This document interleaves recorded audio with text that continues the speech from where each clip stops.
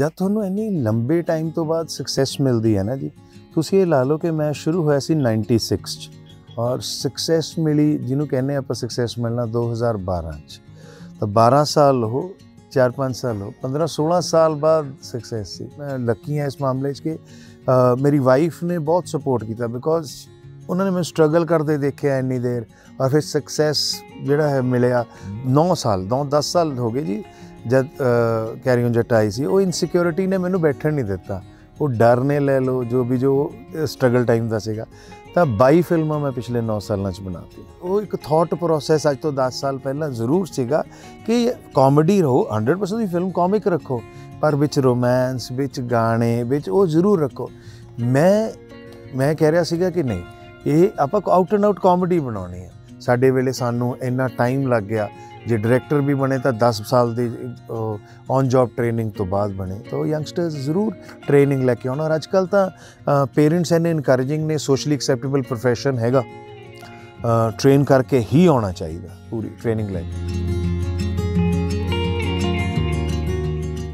ਜਦ ਤੁਹਾਨੂੰ ਇੰਨੀ ਲੰਬੇ ਟਾਈਮ ਤੋਂ ਬਾਅਦ ਸਕਸੈਸ ਮਿਲਦੀ ਹੈ ਨਾ ਜੀ, ਤੁਸੀਂ ਇਹ ਲਾ ਲਓ ਕਿ ਮੈਂ ਸ਼ੁਰੂ ਹੋਇਆ ਸੀ 96 ਚ। ਔਰ ਸਕਸੈਸ ਮਿਲੀ, ਜਿਹਨੂੰ ਕਹਿੰਦੇ ਆਪਾਂ ਸਕਸੈਸ ਮਿਲਣਾ 2012 ਚ। ਤਾਂ 12 ਸਾਲ ਹੋ 4-5 ਸਾਲ ਹੋ 15-16 ਸਾਲ ਬਾਅਦ ਸਕਸੈਸ ਸੀ। ਤਾਂ 15-16 ਸਾਲ ਬਾਅਦ ਜਦ ਤੁਹਾਨੂੰ ਸਕਸੈਸ ਮਿਲਦੀ ਆ, ਦੋ ਚੀਜ਼ਾਂ ਤਾਂ ਸ਼ੋਰ ਹੁੰਦੀਆਂ ਨੇ। ਇੱਕ, ਤੁਸੀਂ ਬੰਦੇ ਬਣੇ ਰਹਿੰਦੇ ਹੋ। ਕਿਉਂ ਕਰਕੇ ਤੁਸੀਂ ਇੰਨਾ ਲੋ ਪੀਰੀਅਡ ਇੰਨੇ ਲੰਬੇ ਟਾਈਮ ਲਈ ਦੇਖਿਆ ਹੁੰਦਾ ਤਾਂ the success doesn't go to your head ਤੁਸੀਂ ਇੱਕ ਲੈਵਲ ਹੈਡਡ ਬੰਦੇ ਰਹਿੰਦੇ ਹੋ, ਇੰਨਾ ਇੰਨਾ ਤਾਂ ਤੁਸੀਂ ਮਾੜਾ ਟਾਈਮ ਦੇਖਿਆ ਹੁੰਦਾ 15 16 ਸਾਲ। ਕੀ ਤੁਸੀਂ ਹਨਾ ਪੈਰ ਛੱਡੋਗੇ? ਦੂਜੀ ਗੱਲ ਇਹ ਆ ਕਿ ਜਦ ਤੁਸੀਂ ਇੰਨੀ ਦੇਰ ਬਗੈਰ ਕੰਮ ਦੇ ਰਹੇ ਹੁੰਨੇ ਹੋ ਇਨਸਿਕਿਉਰਿਟੀ ਤੁਹਾਡੇ ਅੰਦਰ ਆਟੋਮੈਟਿਕਲੀ ਆ ਜਾਂਦੀ ਹੈ ਕਿ ਵਾਟ ਇਫ ਮੇਰੇ ਕੋਲ ਫੇਰ ਨਾ ਕੰਮ ਹੋਇਆ?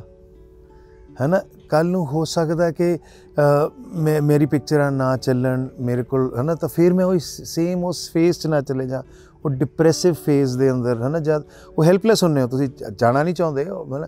ਤਾਂ ਉਹ ਇਨਸਿਕਿਉਰਿਟੀ ਨੇ ਕੀ ਕੀਤਾ ਜੀ? ਮੈਨੂੰ ਇਨਸਿਕਿਉਰਿਟੀ ਨੇ ਪਿਛਲੇ 9 ਸਾਲ 9 10 ਸਾਲ ਹੋ ਗਏ ਜੀ, ਜਦ ਕੈਰੀ ਔਨ ਜੱਟ ਆਈ ਸੀ, ਉਹ ਇਨਸਿਕਿਉਰਿਟੀ ਨੇ ਮੈਨੂੰ ਬੈਠਣ ਨਹੀਂ ਦਿੱਤਾ। ਉਹ ਡਰ ਨੇ ਲੈ ਲਓ, ਜੋ ਵੀ ਜੋ ਸਟਰਗਲ ਟਾਈਮ ਦਾ ਸੀਗਾ। ਤਾਂ 22 ਫਿਲਮਾਂ ਮੈਂ ਪਿਛਲੇ 9 ਸਾਲਾਂ ਚ ਬਣਾਤੀ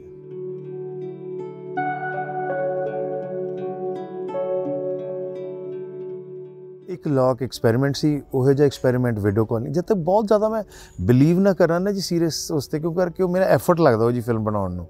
ਤਾਂ ਉਹ ਮੈਂ ਐਫਰਟ ਤਾਂ ਹੀ ਲਾਉਣਾ ਜਦ ਮੈਂ ਬਹੁਤ ਬਲੀਵ ਕਰਦਾ ਕਿ ਮੈਨੂੰ ਇਹ, ਇਹਦੇ ਅੰਦਰ ਮੈਨੂੰ ਲੱਗ ਰਿਹਾ ਕਿ ਇੱਕ ਠੀਕ ਚੀਜ਼ ਬਣੂਗੀ। ਜੇ ਮੈਨੂੰ ਲੌਕ 'ਚ ਲੱਗਿਆ ਸੀ, ਮੈਨੂੰ ਪਤਾ ਸੀ ਉਹ ਕਮਰਸ਼ੀਅਲ ਫਿਲਮ ਨਹੀਂ ਹੈ, ਪਰ ਮੈਂ ਆਪਣੇ ਮਨ ਦੀ ਸੰਤੁਸ਼ਟੀ ਲਈ ਬਣਾਈ ਸੀ ਕਿ ਉਹ ਫਿਲਮ ਲੋ ਬਜਟ ਫਿਲਮ ਸੀਗੀ ਤੇ ਉਹ ਮੈਨੂੰ ਮਨ ਦੀ ਸੰਤੁਸ਼ਟੀ ਲਈ ਸੀ।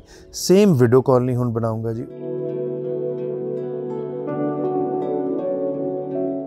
ਮੈਂ ਪੱਟੀ ਸਾਹਿਬ ਨਾਲ ਜਸਪਾਲ ਪੱਟੀ ਸਾਹਿਬ ਨਾਲ ਕੰਮ ਸ਼ੁਰੂ ਕੀਤਾ ਸੀ ਉਹ ਕਾਮੇਡੀਜ਼ ਬਣਾਉਂਦੇ ਸੀ।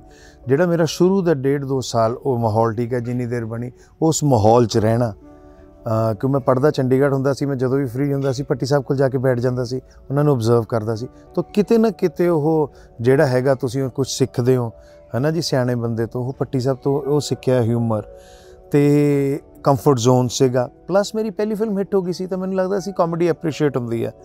ਉਹ ਤੀਜਾ ਮੈਂ ਕੰਫਰਟ ਲੈਵਲ ਜਿਵੇਂ ਮੈਂ ਤੁਹਾਨੂੰ ਕਿਹਾ ਕਿ ਕੰਮ ਕਰਦੇ ਹੋਏ ਕੰਫਰਟ ਲੈਵਲ ਬਹੁਤ ਜ਼ਰੂਰੀ ਹੈ। ਜਦ ਤੁਸੀਂ ਜ਼ਿਆਦਾ ਕੰਮ ਕਰਨਾ ਜਿਵੇਂ ਮੈਂ ਤੁਹਾਨੂੰ ਕਹਿ ਰਿਹਾ ਮੇਰੀ ਇਨਸਿਕਿਉਰਿਟੀ ਨੇ ਮੈਨੂੰ ਜ਼ਿਆਦਾ ਕੰਮ ਕਰਾਉਣ ਲ- ਹੈ ਨਾ, ਕ- ਮੈਂ ਕਰਿਆ ਇਨਸਿਕਿਉਰਿਟੀ ਕਰਕੇ ਤਾਂ ਤੁਹਾਨੂੰ ਉਹੀ ਕਰਨਾ ਚਾਹੀਦਾ ਜੀ ਤੁਹਾਡਾ ਕੰਫਰਟ ਲੈਵਲ ਆ। ਹੈ ਨਾ ਜੀ? ਜਿੱਥੇ ਤੁਹਾਡਾ ਐਫਰਟ ਲੱਗਦਾ ਜਿੱਥੇ ਤੁਹਾਨੂੰ ਟਾਈਮ ਲੱਗਦਾ ਉਹ ਚੀਜ਼ਾਂ ਫਿਰ ਤੁਸੀਂ ਕੁਆਂਟੀਟੀ ਵਾਈਜ਼ ਜ਼ਿਆਦਾ ਨਹੀਂ ਕਰ ਸਕਦੇ। ਹੈ ਨਾ ਜੀ? ਤੇ ਤਾਂ ਉਹੀ ਮੇਰਾ ਕਿਤੇ ਵੀ ਲੌਕ ਵਿਡੋ ਕਾਲ ਉਹ ਨੇ ਜਿੱਥੇ ਮੇਰਾ ਐਫਰਟ ਲੱਗੂਗਾ। ਜਿਹੜੀ ਹੈਗੀਆਂ ਕਾਮੇਡੀਜ਼ ਇੱਕ ਤਾਂ ਮੈਂ ਕਰਦੇ ਹੋਏ ਬਹੁਤ ਇੰਜੋਏ ਕਰਦਾ। ਪਲੱਸ ਜਦ ਤੁਹਾਡਾ ਸੌਦਾ ਵਿਕਣ ਲੱਗ ਜਾਂਦਾ, ਤੁਸੀਂ ਆਟੋਮੈਟਿਕਲੀ ਜਿਹੜੇ ਬੰਦੇ ਤੁਹਾਡੇ ਕੋਲ ਆਉਂਦੇ ਆ, ਤੁਹਾਡੇ ਤੋਂ ਬਣਵਾਉਂਦੇ ਹੀ ਹੋਣ। ਜਦ ਤੁਹਾਡੀ ਫਿਲਮ ਚੱਲ ਜਾਂਦੀ ਹੈ ਤੁਹਾਡੇ ਲਈ ਰਿਲੇਟਿਵਲੀ ਈਜ਼ੀ ਹੋ ਜਾਂਦੀਆਂ ਨੇ ਬਹੁਤ ਚੀਜ਼ਾਂ। ਕੁਐਸਚਨਸ ਨਹੀਂ ਰੇਜ਼ ਹੁੰਦੇ। ਤੁਹਾਨੂੰ, ਹਨਾ, ਕਿਉਂ ਕਰਕੇ ਤੁਹਾਨੂੰ, ਤੁਹਾਡੇ ਪਿੱਛੇ ਸਕਸੈਸ ਹੁੰਦੀ ਹੈ ਤੇ ਕਾਫੀ ਚੀਜ਼ਾਂ ਤੁਹਾਡੇ ਤੇ ਟਰਸਟ ਕੀਤੀਆਂ ਜਾਂਦੀਆਂ ਨੇ। ਉਹ ਸੌਖਾ ਹੋ ਜਾਂਦਾ। ਸੋ ਕੈਰੀ ਔਨ ਜੱਟਾ ਜਿਹੜੀ ਹੈਗੀ ਆ, ਉਹ ਸਲਾਈਟਲੀ ਜਿਹੜਾ ਜਿਹਨੂੰ ਤੁਸੀਂ ਕਹਿੰਦੇ ਹੋ, ਕਿਉਂ ਕਰਕੇ ਲੋਕਾਂ ਨੂੰ ਕਨਵਿੰਸ ਕਰਨਾ? ਪਹਿਲਾਂ ਕੀ ਹੁੰਦਾ ਸੀਗਾ ਜੀ? ਇੱਕ ਕਾਮੇਡੀ ਟਰੈਕ ਹੁੰਦਾ ਸੀਗਾ ਪਿਕਚਰਾਂ ਦੇ ਅੰਦਰ। ਪਿਕਚਰ ਹੁੰਦੀ ਸੀ ਪਿਕਚਰ ਰੈਗੂਲਰ ਚੱਲ ਰਹੀ ਹੁੰਦੀ ਸੀ, ਉਹਦੇ ਅੰਦਰ ਕਾਮੇਡੀ ਟਰੈਕ ਹੁੰਦਾ ਸੀਗਾ। ਤਾਂ ਜਿਵੇਂ ਤੁਸੀਂ ਲਾ ਲਓ ਕਿ ਥਾਲੀ ਸਜਾਈ ਹੋਈ ਆ ਤੁਸੀਂ, ਤਾਂ ਉਹਦੇ ਅੰਦਰ ਇੱਕ ਅਚਾਰ ਹੈਗਾ।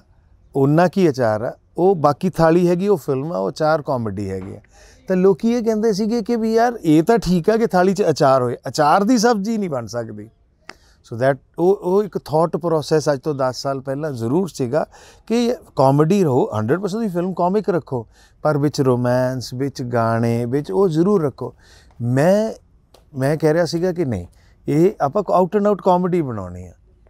ਹਾਂ ਬਿਕੋਜ਼ ਕਿਉਂਕਿ ਗਿੱਪੀ ਗਰੇਵਾਲ ਭਾਜੀ ਇੱਕ ਬਹੁਤ ਵੈਲ ਐਸਟੈਬਲਿਸ਼ਡ ਸਿੰਗਰ ਸੀਗੇ ਗਾਣੇ ਸਾਨੂੰ ਹੈਲਪ ਕਰ ਰਹੇ ਸੀਗੇ ਆਬਵੀਅਸਲੀ ਇੰਨਾ ਵੱਡਾ ਸਿੰਗਰ ਤੁਹਾਡੇ ਕੋਲ ਇੱਕ ਗੱਲ ਇੱਕ ਇਹ ਚੈਲੰਜ ਕਿ ਤੁਸੀਂ ਆਊਟ ਐਂਡ ਆਊਟ ਕਾਮੇਡੀ ਬਣਾਉਣੀ ਸੈਕੰਡ ਚੈਲੰਜ ਸਭ ਤੋਂ ਜਿਹੜਾ ਵੱਡਾ ਉਹਨਾਂ ਦਿਨਾਂ ਦੇ ਅੰਦਰ ਉਹ ਇਹ ਸੀਗਾ ਕਿ ਤੁਸੀਂ ਕੋਈ ਫਿਲਮ ਕੱਢ ਕੇ ਦੇਖ ਲਓ ਜਿਹੜੀਆਂ ਉਸ ਟਾਈਮ ਦੀਆਂ ਸਕਸੈਸਫੁਲ ਫਿਲਮਸ ਨੇ ਚਾਹੇ ਮੈਂ ਤੁਹਾਨੂੰ ਐਗਜ਼ਾਮਪਲ ਦੇਵਾਂ Jatt and Juliet the so there was a Jatt and there was a Juliet ਬਾਕੀ ਸਭ ਹੈਲਪਿੰਗ ਕੈਰੈਕਟਰ ਸੀ, ਛੋਟੇ ਛੋਟੇ ਕੈਰੈਕਟਰ ਸੀਗੇ।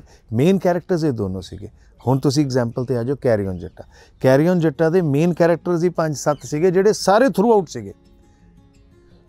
ਔਰ ਇਹ ਨਹੀਂ ਹੈ ਔਰ ਮੋਸਟ ਸਕਸੈਸਫੁਲ ਉਹਦੇ ਐਕਟਰ ਗਿੱਪੀ ਗਰੇਵਾਲ ਜੀ, ਉਹੀ ਪ੍ਰੋਡਿਊਸਰ ਤੇ ਉਹਨਾਂ ਨੂੰ ਇਹ ਕਨਵਿੰਸ ਕਰਨਾ ਕਿ ਇਹ ਤੁਸੀਂ ਇੰਨੀ ਭੀੜ ਦੇ ਅੰਦਰ ਕਿਉਂ ਕਰਕੇ ਬਾਕੀ ਹੀਰੋਜ਼ ਦਾ ਆਪਣਾ ਟਰੈਕ ਹੁੰਦਾ ਸੀਗਾ, ਬਾਕੀ ਕਮੇਡੀਅਨ ਛੋਟੇ ਛੋਟੇ ਰੋਲਸ ਹੁੰਦੇ, ਇਹਦੇ ਅੰਦਰ ਸਭ ਮੇਜਰ ਰੋਲ ਸੀਗੇ।